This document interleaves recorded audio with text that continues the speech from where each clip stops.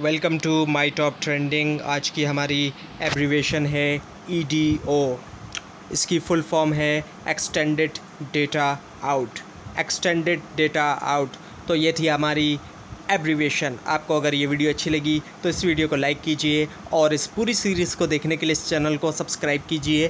thanks for watching